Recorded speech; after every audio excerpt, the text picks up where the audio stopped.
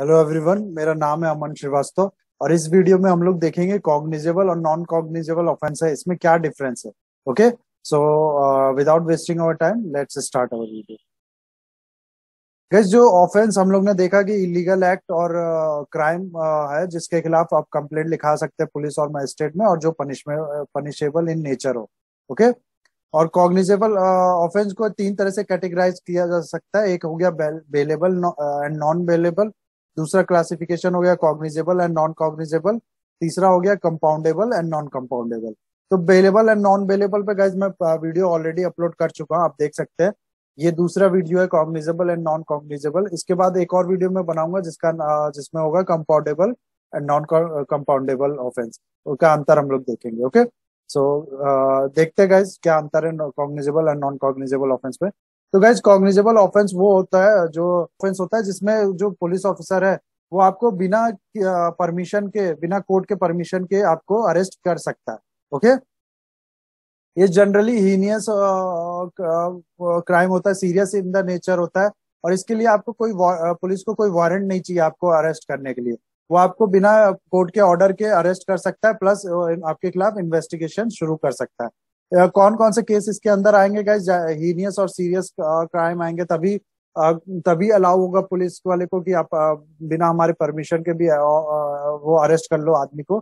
तो कौन कौन से केस हो गए? मर्डर हो गया रेप हो गया किडनैपिंग थेफ्ट डाउरी डेथ ये सब जो ऑफेंस होते हैं ये आते हैं कॉग्निजेबल ऑफेंस में। और, और जो फ़र्स्ट इंफॉर्मेशन रिपोर्ट है is registered only in cognizable offence जो सेक्शन 154 क्रिमिनल प्रोसीजर कोड है, उसमें पुलिस ऑफिसर बाउंड है, वो पुलिस ऑफिसर को रजिस्टर करना ही पड़ेगा जो एफ़ आई आर है, अगर कॉग्निजेबल ऑफेंस में sorry against cognizable offence okay तो ये आप लोग को पता होना चाहिए, अगर कोई पुलिस ऑफिसर आपका कहने पे एफ़ आई आर नहीं लॉन्च करता है और वो, जो आप जिसके लिए एफआईआर लिखवाने गए वो किसी कॉग्निजेबल ऑफेंस के अंडर आता है तो आप उस पुलिस ऑफिसर की आगे कंप्लेन कर सकते हैं। क्योंकि उसको मैंडेटरी है उसको करना ही करना है under section 154 of the CrPC और कुछ ही can also conduct some kind of preliminary inquiry before registering FIR okay जो इस केस में पहले अरेस्ट कर दिया जाता है, फिर मजिस्ट्रेट के पास उस आदमी को उस आदमी को पेश किया जाता है इन स्टूपुलेटेड टाइम, ओके? ये देख सकते हैं आप, मर्डर हो गया किसी का या किसी को मारना या फिर रेप और किडनैपिंग, ये सब केस जो होते हैं, ये कॉग्निजेबल ऑफेंस होते हैं। तो नॉन कॉग्निजेबल ऑफेंस क्या होगा गाइज़ अब तक तो आपको क्लियर हो ही गया होगा, जब कॉग्निजेबल ऑफेंस में बिना वारंट के अरेस्ट किया जाता है तो ये वो ऑफेंस हो गए जिसमें आपको कोर्ट का परमिशन चाहिए इन्वेस्टिगेशन शुरू करने के लिए और अरेस्ट करने के लिए किसी आदमी को।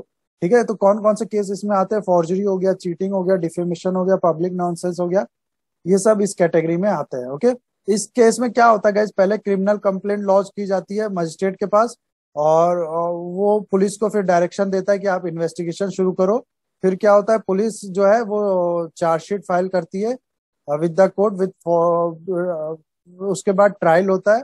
और फिर आफ्टर ट्रायल अगर पर्सन जो है वो गिल्टी होता है तो कोर्ट कहती है ठीक है इस पर्सन को अरेस्ट कर लो। Warrant to arrest the accuse okay तो ये होता है कॉग्निजेबल नॉन कॉग्निजेबल ऑफेंस ठीक है? अब देख सकते हो किसी का पैसा चुराना हो गया या कुछ आ, मारा पीटी थोड़ा बहुत चेन छीनना ये सब जो होता है नॉन कॉग्निजेबल तो एक बार डिफरेंस देख लेते हैं। हम लोग ने पैसे ही देख लिया डिफरेंस लेकिन फिर से एक बार रिपीट कर लेते हैं। कॉग्निजेबल ऑफेंस वो होता है police can arrest you without warrant in which police can not arrest you arrest a person without a warrant ठीक है? वो हो गया नॉन कॉग्निजेबल और इंक्वायरी जो इन्वेस्टिगेशन है, वो बिना परमिशन के शुरू कर सकती है, इसमें नहीं कर सकती है। हीनियस क्राइम होता है इसमें जो लेस सीरियस क्राइम होते हैं, वो होता है। और विक्टिम जो है, वो एफआईआर और make complaint to magistrate victim can file F और make complaint to magistrate victim can only make a complaint to magistrate okay F नहीं फ़ाइल कर सकता इसमें। एफ़ नहीं फ़ाइल किया जा सकता।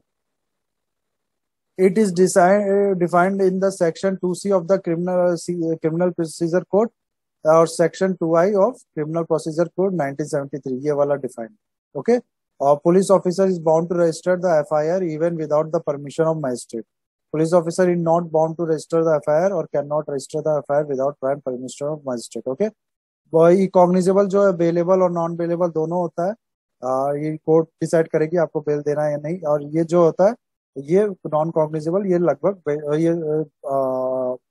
ऑब्वियस है बेलेबल ही होता है ओके तो ये था गाइज़ इस वीडियो में। आई होप आपको कुछ सीखने को मिला होगा कुछ समझ में आया होगा।